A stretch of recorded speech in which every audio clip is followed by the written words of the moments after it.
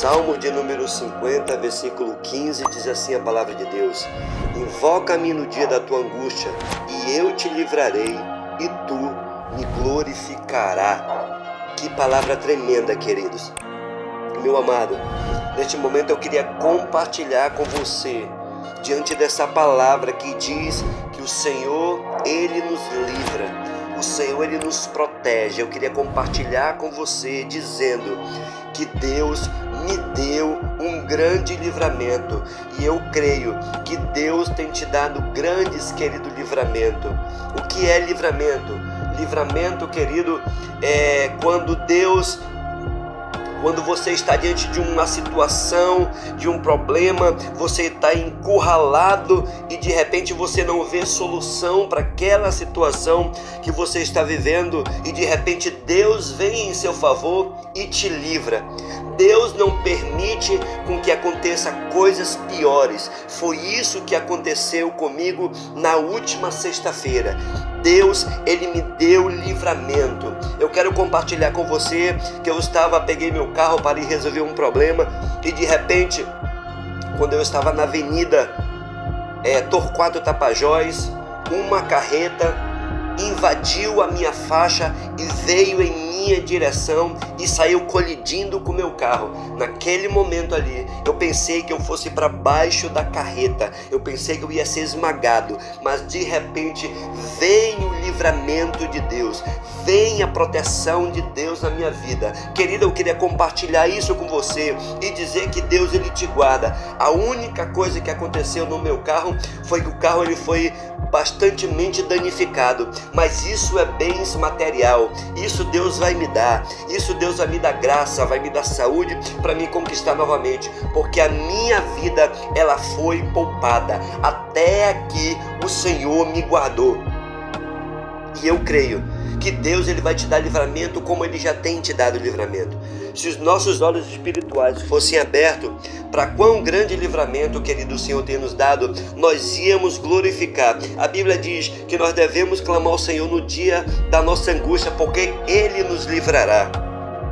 Amados, Ele te livra ele te guarda, Ele te protege, Ele te dá força. Naquele momento ali, eu vi a mão de Deus sobre a minha vida. E da mesma forma que eu vi a mão de Deus sobre a minha vida, eu creio que Deus vai te livrar, eu creio que Deus vai te proteger, eu creio que Deus vai te guardar. Em nome de Jesus, receba aí na tua vida o livramento de Deus. Receba na tua vida a proteção de Deus. Você está debaixo dos cuidados de Deus.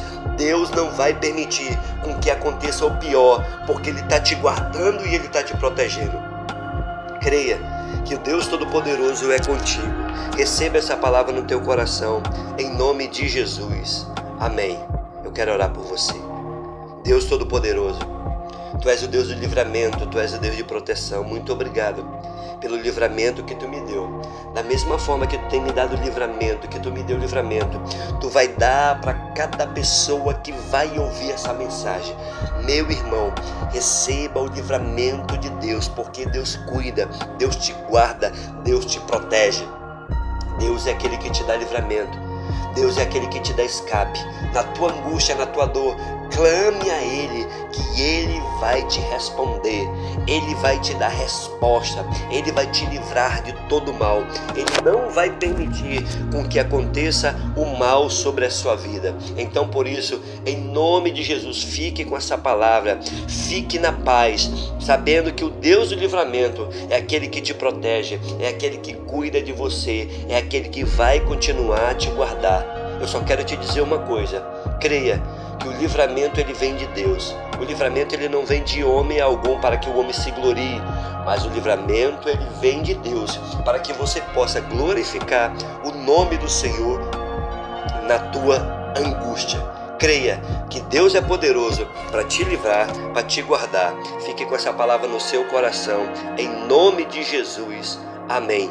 Querido, você que ainda não é inscrito no nosso canal, se inscreva no nosso canal, deixa aí o seu like, o sininho da notificação, porque eu creio que Deus vai te abençoar mais e mais. Se você deseja uma oração específica, deixe nos nossos comentários que nós vamos estar orando por você. Nós temos orado por você. Em nome de Jesus, Deus é contigo e maior é aquele que está em nós. E eu quero pedir desculpa dos daqueles que me ouvem, porque a minha garganta não está boa, mas nós estamos aqui para orar com fé e interceder pela sua vida. Fique na paz. Deus te abençoe. Em nome de Jesus. Amém.